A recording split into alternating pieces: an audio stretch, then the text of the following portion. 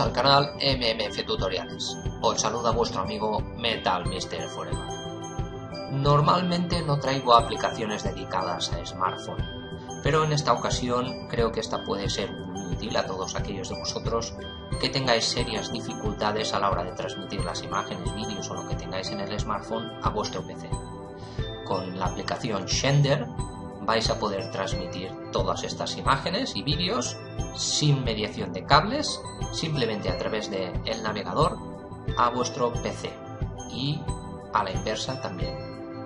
Bueno, pues ya sabéis, como siempre, si estáis interesados, a acompañarme.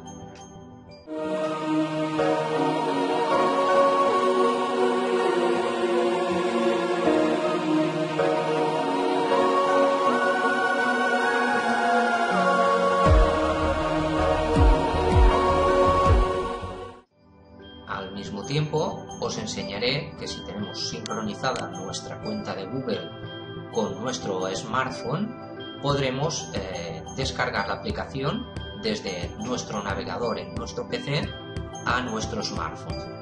Para los que no tuvieseis sincronizado eh, vuestra cuenta de Google, os dejaré en la descripción del vídeo una página donde os muestro los pasos básicos para poder sincronizar nuestras cuentas.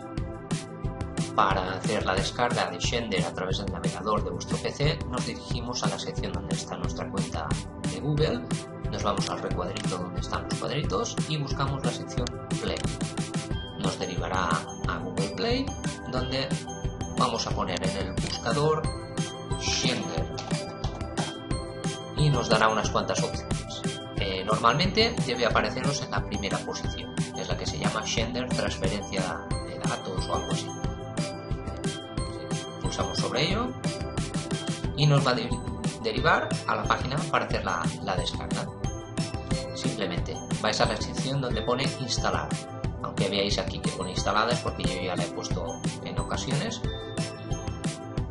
Simplemente debéis de darle al botoncito instalar. Automáticamente os aparecerá esta otra ventana donde nos dice el dispositivo que tenemos. Si tenemos varios, pues aquí nos aparecerá en el listado de todos los que tenemos. Y le voy a dar en instalar. Acto seguido os saldrá una ventana donde pone que se instalará en breve en, en, nuestro dispositivo y en pocos segundos tiene que empezar la descarga en el smartphone. Una vez tengáis hecha la descarga en vuestro smartphone, simplemente tenéis que darle en aceptar. Y desde ese momento que ya hayáis visto que está hecha la descarga en el smartphone, tendremos instalado nuestra aplicación llamada Shender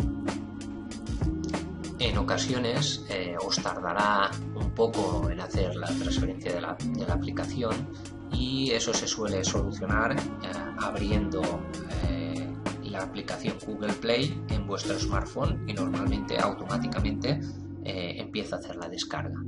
Si aún así todo tuvieseis algún problema, pues simplemente debéis de hacerlo de la forma tradicional, accediendo a vuestro Google Play, en la aplicación Google Play del smartphone y seguir los mismos pasos que hemos hecho en el navegador del PC. Ahora os dirigís a vuestro smartphone y abrís la aplicación Shender. La primera vez os aparecerá una ventanita y debéis de eh, ir a la sección que pone omitir. Acto seguido pasará a otra ventana en donde debéis de tocar en un espacio eh, de la pantalla y se os abrirá verdaderamente en ese momento la aplicación. Ahora, para conectar el teléfono, debéis de tocar el botón más. Se os abrirá otra ventana con unas opciones y debéis de ir a la que os aparece en la parte izquierda inferior que pone conectar teléfono y os derivará a otra pantalla como esta que veis ahora. La primera vez que nos conectemos en esta pantalla del smartphone nos va a pedir si queremos conectarnos offline. Simplemente tocamos una parte de la pantalla que no sea el icono rojo con los circulitos blancos. Ahora vamos a hacer el primer paso para conectarnos con el navegador. Vamos a poner la página web que nos dice, que es la de web.shender.com. Vamos a ir al navegador y vamos a escribir con esto ya nos bastará. Nos aparecerá aquí la opción de WebShare. Simplemente pulsamos sobre la opción que nos da el navegador del PC y nos aparecerá esta pantalla.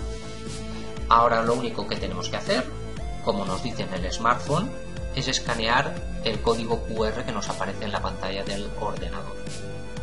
Vamos a situar el smartphone delante del código QR y vamos a dar en escanear. Y vamos a procurar que el eh, recuadro que nos aparece en el smartphone enfoque bien el código QR.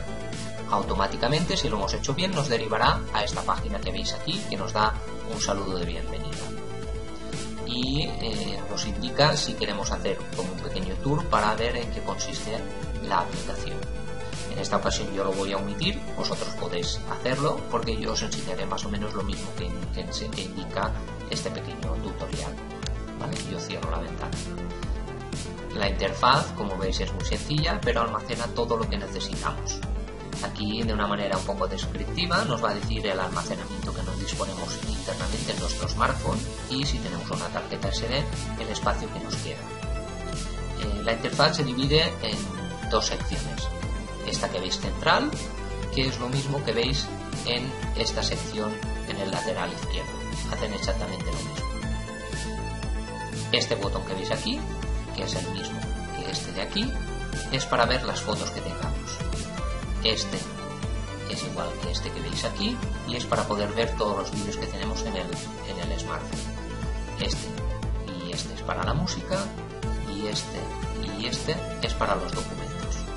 Pulsamos sobre uno de ellos, por ejemplo, y cargará en unos segunditos y nos va a enseñar toda la música que tenemos almacenada en el smartphone el propio navegador nos va a dejar que hagamos una reproducción de la música que tenemos en el smartphone simplemente pulsando en el botoncito verde que veis aquí. También si queréis hacer descarga de archivos del smartphone al PC, simplemente es situaros sobre uno de ellos, por ejemplo este, y le damos a esta sección que pone que es para descargar. Pulsamos sobre él, nos va a pedir si queremos guardarlo o abrirlo con alguna aplicación y le damos en aceptar. En un segundo tenemos descargada la canción en la carpeta de descargas de nuestro equipo, que es esta que veis aquí. Para hacer una descarga de una imagen es exactamente lo mismo, o incluso de un vídeo. Vamos a la sección imágenes y seleccionamos la que queremos, nos ponemos sobre ella y le damos al botoncito de descarga automáticamente nos pedirá si queremos abrirla con una aplicación o guardarlo en el archivo. Yo le voy a dar en guardar y exactamente se nos va a incluir dentro de nuestra carpeta de descargas. En la sección de imágenes, como podéis ver, tenemos eh, como dos eh, pequeños eh, apartados. En uno es la galería de imágenes que tenemos, que son todos los archivos que tengamos como wallpapers y algo así, y el otro las fotos que ya hemos hecho con nuestra cámara. También os quiero enseñar que esta esta uh, sección de aquí, llamada Apps, podréis ver todas las aplicaciones que tenéis en el, descargadas que tenéis en vuestro, eh, en vuestro smartphone. Y esto es para navegar eh, por el interior del, eh, del smartphone para poder ver las carpetas. También de una forma muy sencilla podemos añadir archivos a nuestro smartphone. Por ejemplo, y simplemente arrastrando elegimos el archivo que queremos subir y lo movemos a esta, a esta sección. Soltamos y en unos segunditos se nos habrá añadido nuestro smartphone.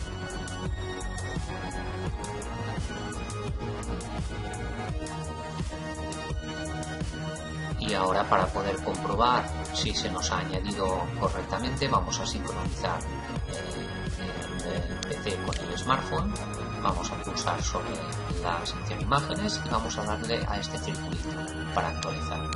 Pulsaremos y en un segundo podéis comprobar que aquí tenemos la imagen que acabamos de subir. Ya habéis visto que es muy sencillo.